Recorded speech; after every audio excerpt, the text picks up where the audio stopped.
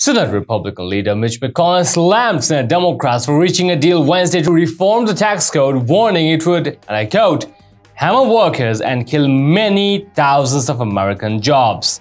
Well, before getting into the details, welcome back to Next News Hour. If you're new to our channel, tap on the subscription button now and hit the notification bell.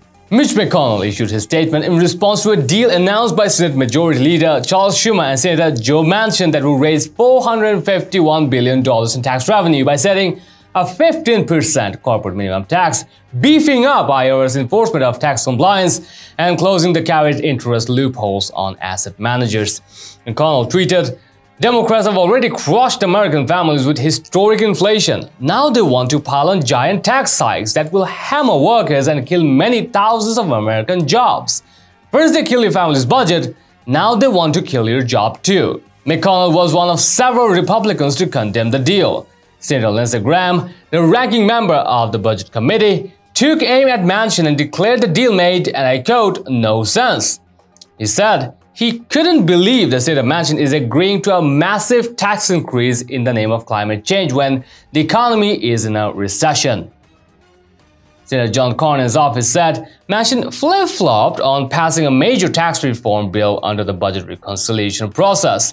The GOP senators issued their statements a few hours after Federal Reserve Chairman Jerome Powell said he does not think the US economy is currently in a recession. He said at a press conference the reason is there are too many areas of the economy that are performing too well. The Schumer-Manchin deal, dubbed the Inflation Reduction Act of 2022, would raise $739 billion in revenue. In addition to the tax provisions, it would raise 288 billion from empowering Medicare to negotiate lower prescription drug prices.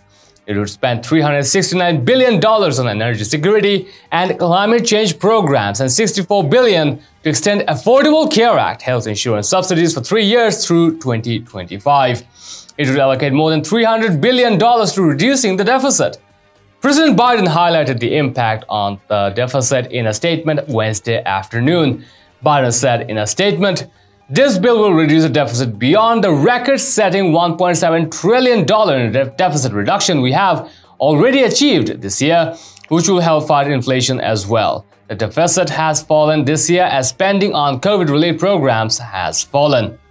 We would like to know your thoughts about it. Share them in the comments down below. And also, share this news and support us through subscribing to our channel. Thanks for watching.